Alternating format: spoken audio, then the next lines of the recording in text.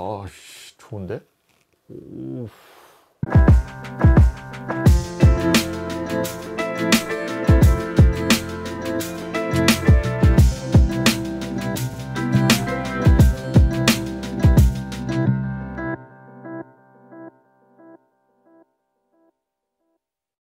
안녕하세요 방건조 실험실의 조재만입니다 오늘은 제품을 하나 소개시켜 드리려고 나왔어요 어, 오늘 소개시켜 드릴 제품은 바로 요겁니다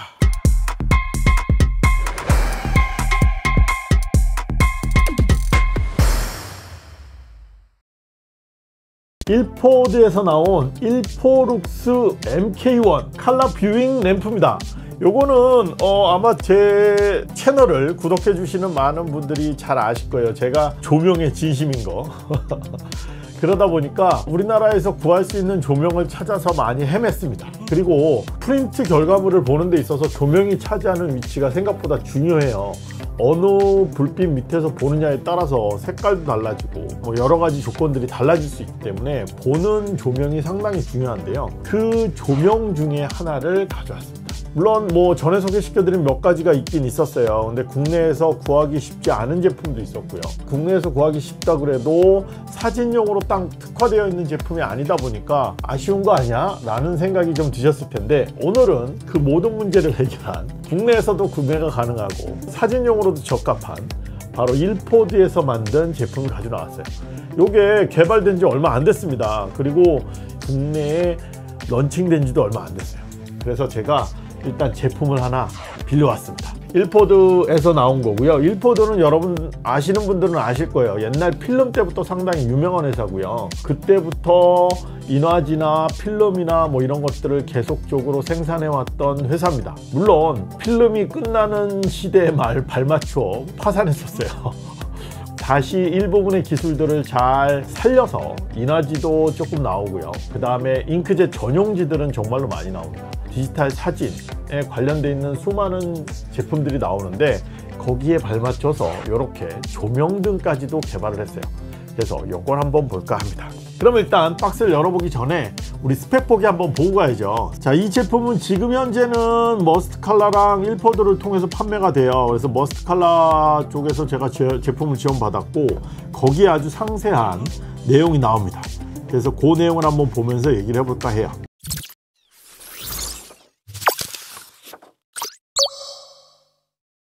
첫 번째는 뭐 이렇게 사진이나 이런 결과물을 확인하는 그런 용도로 쓰는 거다 해서 그런 이미지가 있고요. 그 다음에 컴팩트한 컬러 판독기. 요거의 포인트는 휴대성이 좋은 작은 스탠드라는 거예요.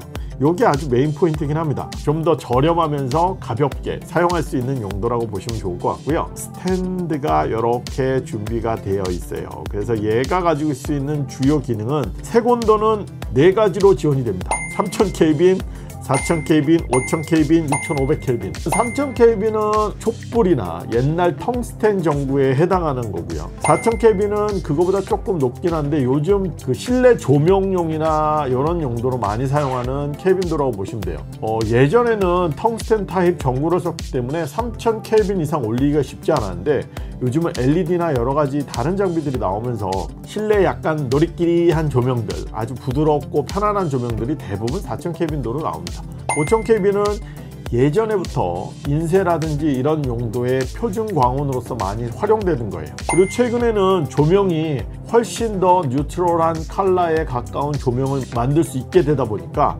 6500 케빈도가 표준으로 자리 잡고 있습니다.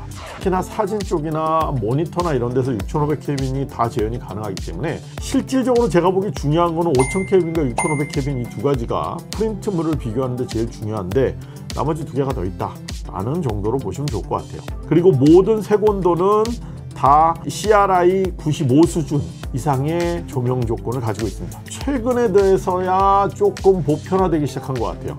얼마 전까지만 해도 일반 조명등이나 이런 데는 CRI 값이라는 것 자체를 물어보지도 않았어요. 그냥 모르고 샀던 거죠. 근데 대부분 초기에 만들어진 LED라는 조명등은 실질적으로는 한 80 정도밖에 되질 않았어요. 그래서 조금 예민하거나 색깔에 민감한 분들은 좀 어, 칙칙한데 뭔가 색깔이 좀 너무 차가운데 이런 느낌들을 꽤 받으셨을 겁니다 그런데 95 이상을 지원하는 바로 이런 스탠드가 나왔다.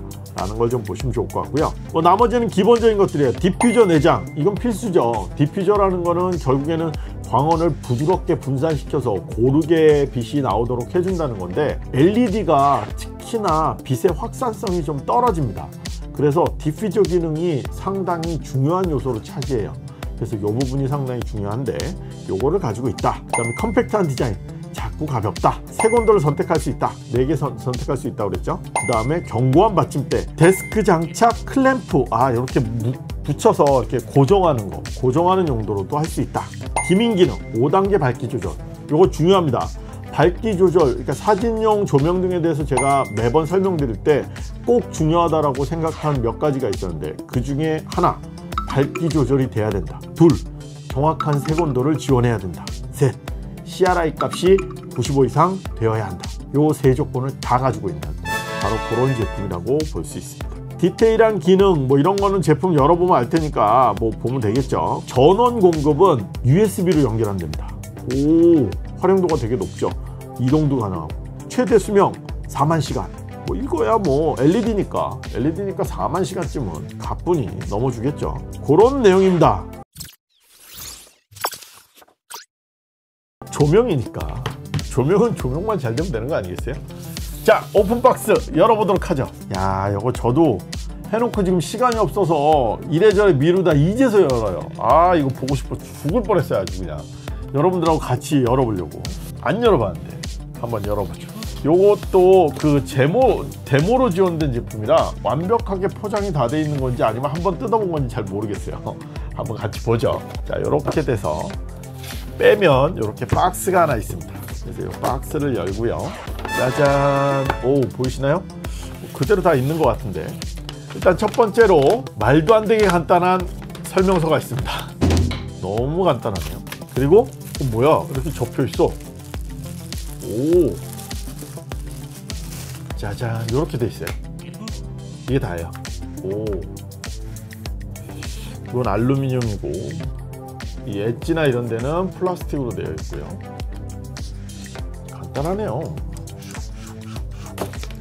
오 간단한 조명이에요 음, 이렇게 돼 있고 자 또 볼까요? 얘는 아하 책상에 붙이는 크램프. 책상에다 물리는 거죠. 요게 두께가 얼마나 될까요? 짜잔. 책상 두께가 한 50mm 정도가 가능할 것 같아요. 5cm 정도가 될 것 같아요. 5cm 조금 넘어도 될 텐데 대략 맥시멈 55 정도? 55 정도는 물릴 수 있을 것 같아요. 그 다음에 스탠드 바닥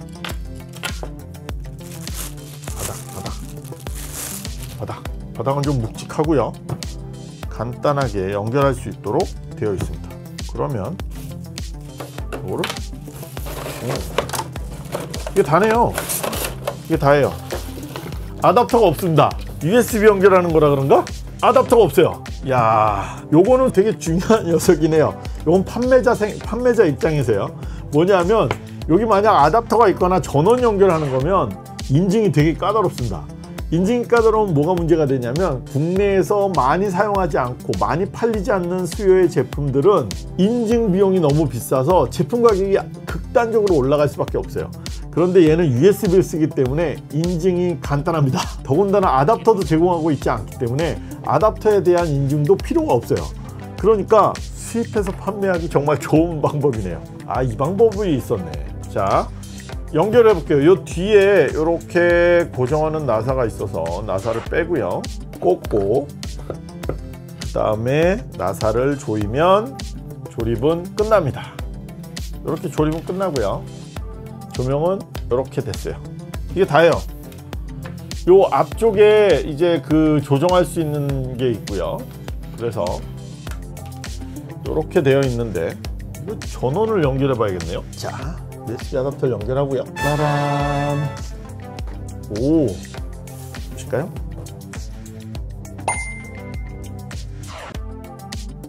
색온도.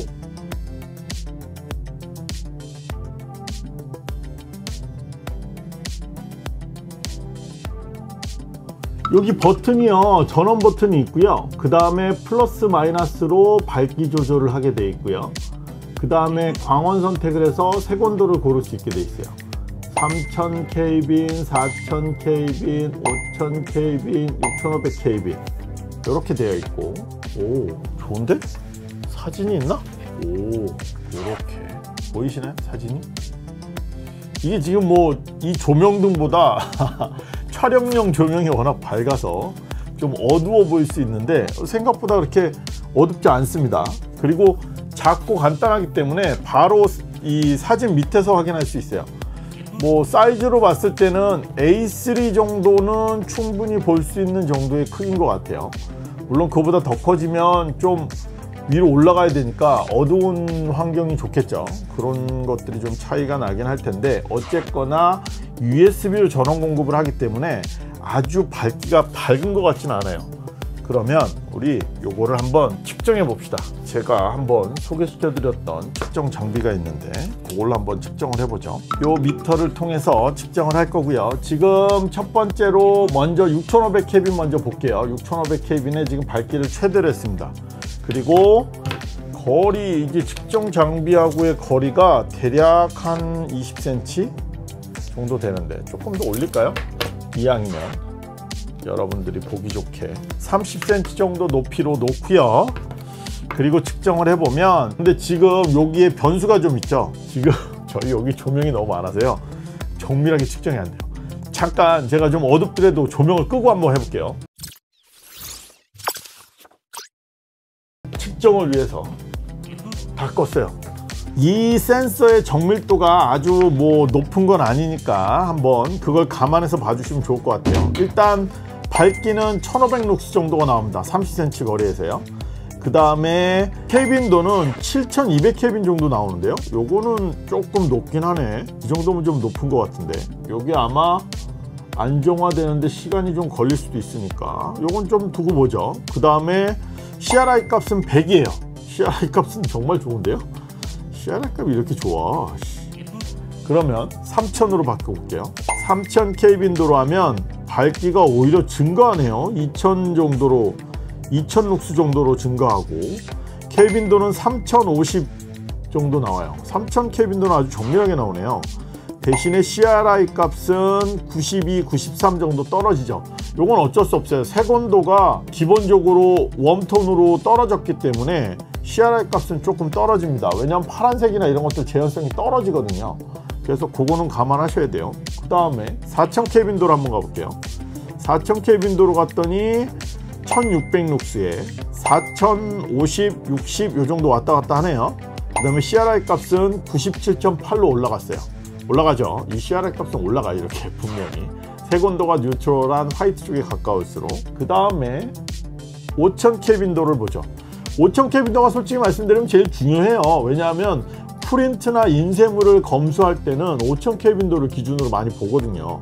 그래서 밝기는 1600 룩스 정도 되고요. 켈빈도는 5280, 250이 정도 왔다 갔다 합니다. 그리고 CRI 값은 99.9에서 100 왔다 갔다 하는 이런 정도네요. 그리고 6500을 했더니 얘가 좀 높아요. 7000 켈빈, 7200 켈빈에서 7290 뭐 이렇게 켈빈도가 올라가고 밝기는 1400 룩스 정도 됩니다. 그리고 CRI 값은 100 정도가 돼요. 여기 앞만 해도 이 위로 올라가면서 조금 색깔이 더 끼고 있는 것 같아요. 요거는 제 생각에는 diffuser의 영향 때문이 아닌가라는 생각이 들어요. 이 앞에 있는 diffuser도 상당히 영향력이 크거든요. 근데 어쨌거나 요 정도 범위다 라는 거 한번 참고하시면 좋을 것 같고요. flickering을 한번 봤으면 좋겠는데 flickering을 한번 볼까요? 오 일단 flickering도 전혀 리스크가 없어요. 그리고 raw 데이터를 봐도 아주 고르게 흔들리고 있습니다. 이런 정도면 아주 훌륭하죠. 바꿔볼까요? 3000은 조금 더. 아하. 4000 켈빈도가 조금 요동이 있네요. 그래도 워낙 frequency가 높기 때문에 리스크는 전혀 없는 그런 데이터입니다. 그 다음에 5000 켈빈도를 한번 보면 5000 켈빈도는 또 이렇게 잦아드네요 그래서 어쨌거나 frequency가 이게 만 헤르츠가 넘는 걸로 봐서는 뭐 거의 깜빡임이나 이런 걸 인간이 느낄 수 없는 정도 수준이에요. 다시 말해서 눈에 불편함이 없는 그런 조명 조건을 가지고 있습니다. 아, 이거 재밌네요. 요건 여기까지 보고요. 답답하시죠? 여기서 여기서 뭐 이렇게 사진도 보고 이렇게 하시면 됩니다. 요 밑에서 될 수 있으면 작업 환경이 조금 어두운 곳이 조금 낫겠죠.